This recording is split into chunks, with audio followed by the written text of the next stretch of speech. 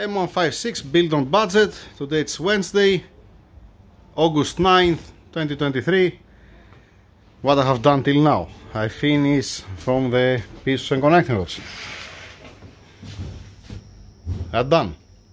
Wrapped, waiting for the connecting rod bearings. Hey.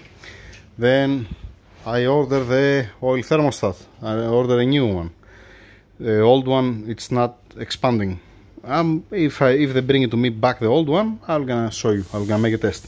I polish the crankshaft rear seal placed here on the crank. That was not polished. I prepare one intake manifold. It's tired but it will gonna run. It's fine. I paint it also. Alright I block the paths down here. Same thing here. Imagine to put it on and then start P1 injector inside and hydrolock the engine. Eh? Yay! Lovely. That, that's the, one of the reason.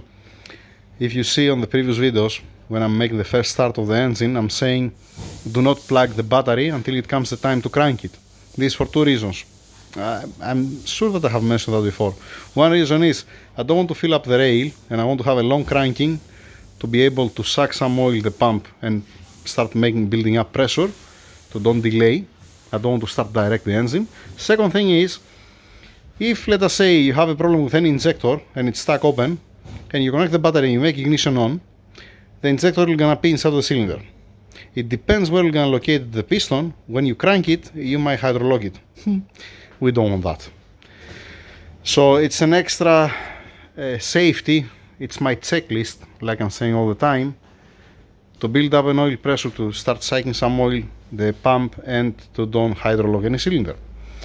So, ah, yes, yes, then crank main bearings, connector bearings and the rest of the gasket seals. I asked at the office, do we have crank main bearings and connector bearings? To, at least to, to build the short block, you know, down. They said to me, yes, we have. I said, okay, beautiful. And it came the time that I need the crank main bearings to get the clearance. And when I asked for the crank main bearings, they said, no, we don't have. And they place an order. The crank main bearings and the connector bearings are coming next week. And I hope that we have the rest of the parts.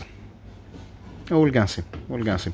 Some some things like let us say this bolt obviously this bolt's a used one. It's not a new one. I have it as a reference here because if if I ask them for the bolt and they tell me give me a sample. So I have a sample. Gonna give to them. This is a left hand thread bolt head bolts already bring it to me. This is the gear for the crankshaft down and I need also the centrifugal that goes here for the ventilation.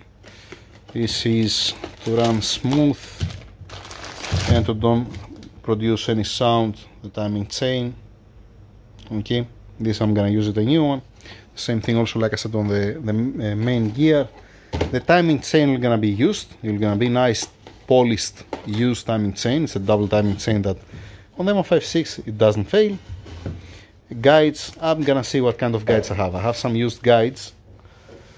So yeah with one hand later later. I have some used guides. I'm gonna see the condition. If it's burned i'm gonna throw it down the floor. If it doesn't break that means it's healthy. If it, they broke i'm gonna put a new one. Scientific experiment test. That's it. Small update for that it makes sense to wrap the crank since it's coming next week the bearings. It makes sense to wrap again the engine and the crank. These are the welders. Once again yay lovely. All right that's it. Over and out. Let me wrap it.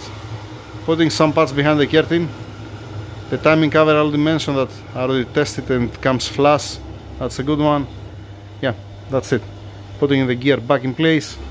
Intake manifold behind the curtain wrapping the block wrapping the crank. Yep the pistons are already fine. Also the bottom end I'm gonna wrap it. Yeah why not? Why to stay there? That's it. Thank you